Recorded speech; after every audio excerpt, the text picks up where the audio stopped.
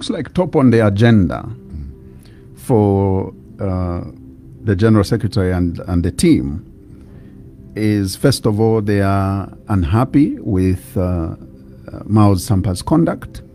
And we understand that there is uh, a petition to have him expelled from the Patriotic Front. That is not, uh, that is not on top of uh, the Secretary General and the team's agenda.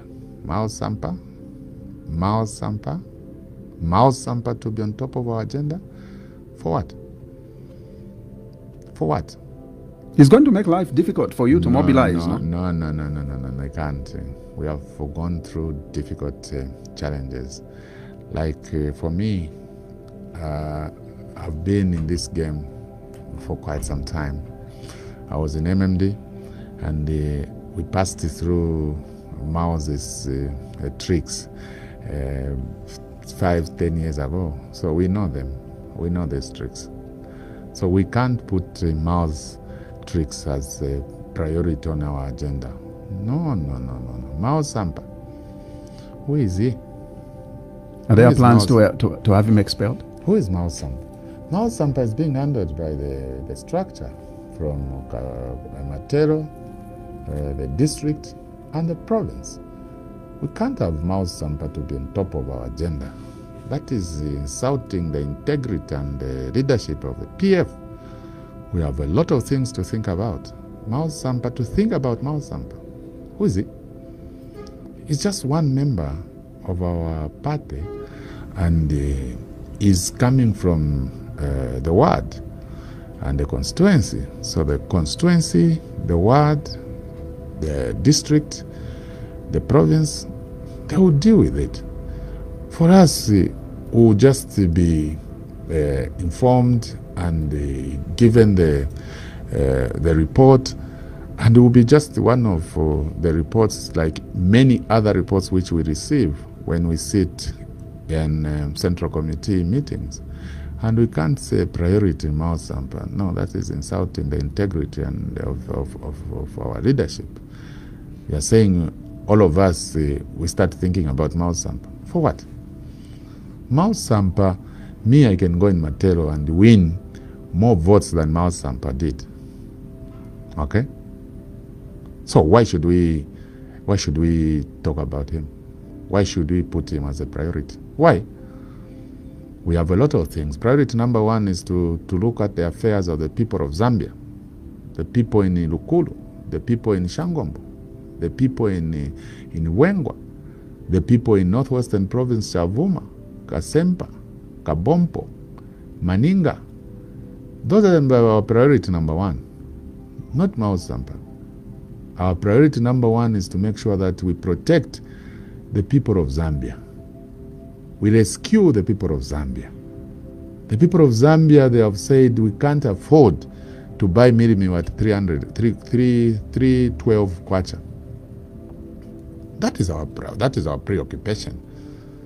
Not Mao Sampa. No, no, no, no, no, no. You- Mao Sampa is being uh, dealt with by uh, our uh, our constituency district uh, provinces area rooted to. Us, we will just uh, be given a report. And that report, it will come to a central committee, definitely. It will come and we'll look at it. But it, will, it, it won't be a priority because our priorities are not uh, in those areas. Our priority is to reorganize the party and save the people of Zambia. You, you are known for uh, aggressive approach in terms of mobilization. Do you think, and, and you earned that name bulldozer as a result of your aggressive uh, approach to mobilization. Do you think that uh, this position has been given to you based on the fact that uh, uh, you have those qualities? Definitely, you can't give a position uh, to the person who can't handle the position. You can't. You can only give the position to the person who can handle the position. So, I will agree in affirmative with what we are saying. You have seen the qualities. Let's let's move to allegations being made that uh, uh, former President uh, Edgar Chagwa Lungu is uh, uh, being mistreated by this government. What is the position of the party The position which he the- led? Yeah, the position of the party is that they are not allegations, they are things which we are seeing. President Lungu was invited in Ndola. The invitation was everywhere. And the people invited President Lungu invited also the minister of the province. And President Lungu traveled to Ndola and he was blocked from going to church. Just going to church. We had thousands of police officers. I was there. I escorted President Lungu. I'm from the Copper Belt province, and I thought it was prudent for me to be there. And I was there. And I saw what was happening. And to make matters worse, the people who came are the people President Lungu promoted through Inspector General of Police during his tenure. Mr. Bwaria, he was uh, at State House and was transferred from State House. He went into Ndola as a district commanding officer for Ndola. We saw him and we were very shocked. Okay? We saw another Mr. Mwape. Uh, also, he was promoted by President Lungu.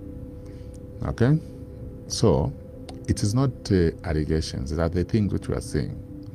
Okay? We had to move President Lungu from Ndola into Lusaka by road because we can't stand the embarrassment which uh, the police caused to the head of state, the former head of state. So we moved him from Ndola by road into, into Lusaka. The embarrassment at international, uh, KK International Airport, that thing cannot be tolerated, actually, to the former head of state. The head of state wanted to go to South Africa for medical checkup, and it was uh, the, the, the state declined his request. So all those things are not rumors, are the things which we are seeing, and the people of Zambia are seeing all those things. So for me, I would want to urge uh, the government of His Excellency President Hakainde Hichilema when it comes to the 60th uh, president's office. I think there is a way of dealing with the former head of state than causing this embarrassment. They are causing this embarrassment thinking the people of Zambia they will be against President Edgar Chagwa Lungu. First and foremost, President Lungu governed this country for seven years. And he protected this country for seven years. And uh, we should just uh, give him that respect as a former president of the republic. And to me, the government today, they would have made President Lungu as their best friend. And they have, have gained a lot of things from President Lungu. Remember that President Hakainde Hichilema has just been in government for two years. And we can't say President Hakainde Hichilema has managed to learn how he's supposed to govern this country in two years. It is not possible. It is not possible. In most cases, if we can just uh, look at the statistics in Africa, most presidents who managed to be president in these countries, some of them maybe they were uh, ministers or deputy presidents or secretary of a party. But President Hakainde Hichilema just uh, is just fro- straight from the corporate world, and the dynamics they are not the same. So in this game, he would have uh, benefited a lot if he had made President Lungu as his best friend. Remember, we only have one former president. One former president. And uh, if were President Hakainde Hichilema, I would have made President Lungu as my best friend to gain a lot of things from him.